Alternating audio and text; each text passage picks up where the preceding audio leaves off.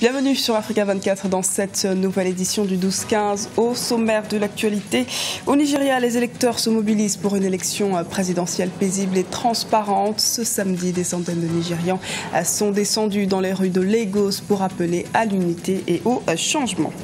L'Afrique contribue à moins de 5% au commerce mondial de la pêche. Elle dispose pourtant d'importantes ressources halieutiques grâce à ses océans et fleuves, une situation à laquelle compte remédier le continent en donnant un meilleur accès aux marchés intra-régionaux.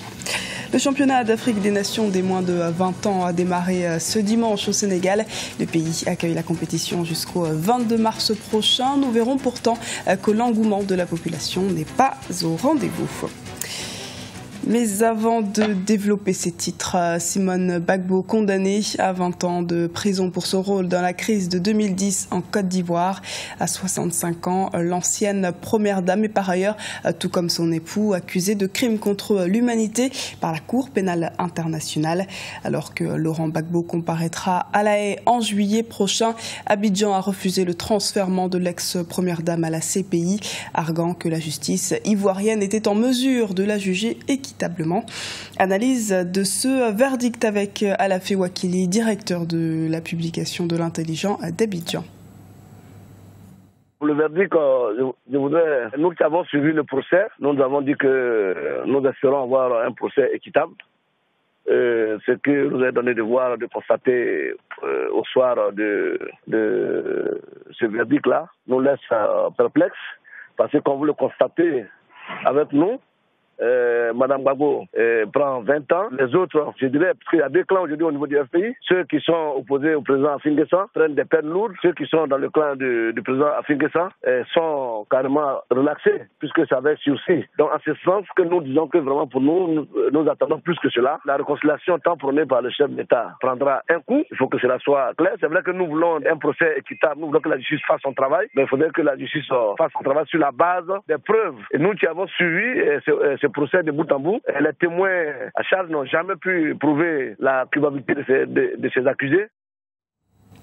Marche pacifique pour un climat politique apaisé au Nigeria. Ce samedi, les manifestants sont descendus dans les rues pour demander plus de transparence dans la gouvernance.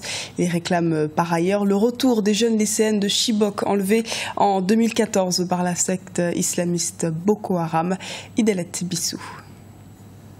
Au Nigeria, les électeurs se mobilisent pour une élection présidentielle paisible et transparente. Samedi, des centaines de Nigérians sont descendus dans les rues de Lagos pour appeler à l'unité et au changement.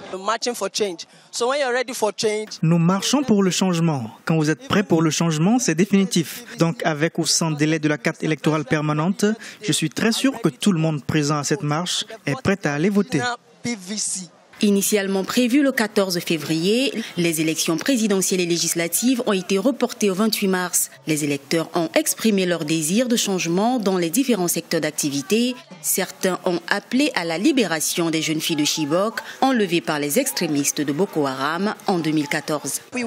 Nous voulons un changement dans le secteur de l'éducation, dans le secteur des transports. Nous voulons l'électricité constante. Nous voulons un changement dans nos hôpitaux. Nous voulons des changements dans tous les secteurs d'activité. Plus de 68 millions d'électeurs se sont inscrits pour les élections au Nigeria. Le scrutin opposera le président sortant Goodluck Jonathan du Parti démocratique populaire à l'ancien dirigeant militaire Mohamedou Bouhari du Congrès des progressistes.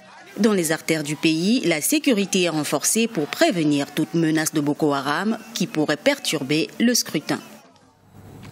Le commerce de la pêche au cœur d'un projet panafricain financé par le nouveau partenariat pour le développement de l'Afrique, la Commission européenne et le Bureau interafricain des ressources animales de l'Union africaine. Ce projet entend renforcer et dynamiser le potentiel halieutique du continent. Plus de précisions avec Kekeli Afeto.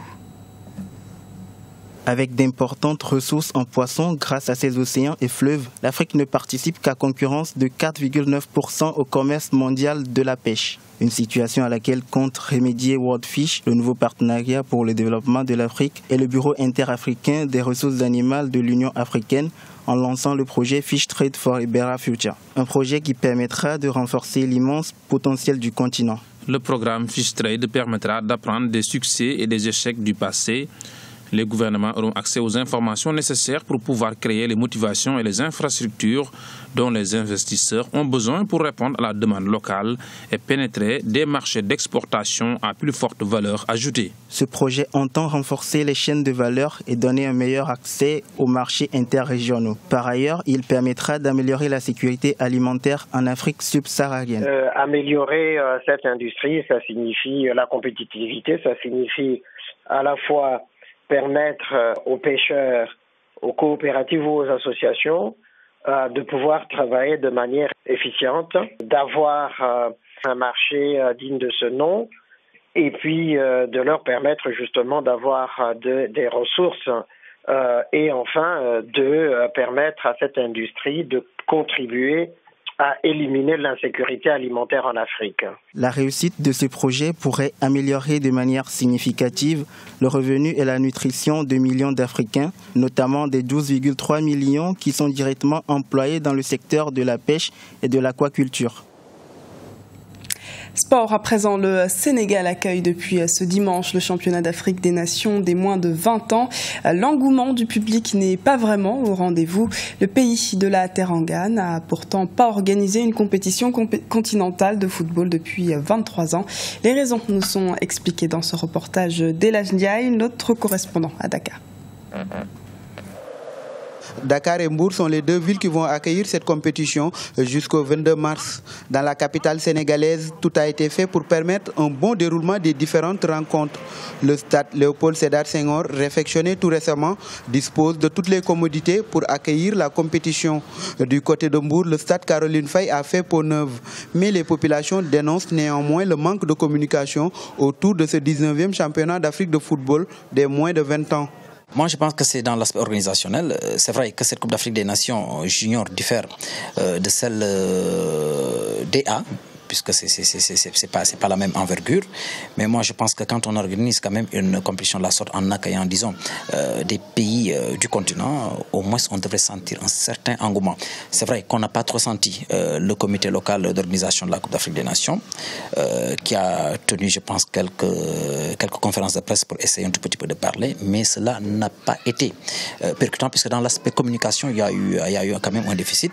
C'est juste, disons, à quelques jours, hein, à moins d'une semaine de cette compétition qu'on a commencé un tout petit peu euh, à sentir les choses bouger, avec notamment la publication de la liste de l'équipe euh, du, Sénégal. Ensuite, il y a eu l'inauguration euh, du stade Caroline Faye de Mbourg qui a subi, disons, quelques réaménagements. Mais l'un dans l'autre, on ne sent pas, chez la population en tout cas, et même chez nous les journalistes, on ne sent pas, disons, cet engouement, disons, de ce grand messe africain. Huit équipes africaines vont participer à ce championnat d'Afrique. Selon les analystes, cette compétition peut être une tribune pour valoriser les footballeurs locaux. La Chan, comme j'ai l'habitude de le dire, c'est une compétition très importante. Malheureusement pour les téléspectateurs et les publics sportifs africains qui n'accordent pas grande importance à cette compétition parce que ça nous permet de mettre en valeur nos championnats puisque la compétition est jouée par les joueurs évoluant dans les championnats africains. Organisé tous les deux ans, ce championnat des moins de 20 ans a un réel enjeu. Au-delà du trophée continental, il y a quatre places de mondialistes à gagner. Tous les quatre demi-finalistes seront qualifiés à la Coupe du Monde junior prévue au mois de mai prochain en Nouvelle-Zélande. Ce journal a été réalisé par l'ensemble de la rédaction. Merci pour votre fidélité. Retrouvez dans un instant une nouvelle édition du 12-15 sur Africa 24.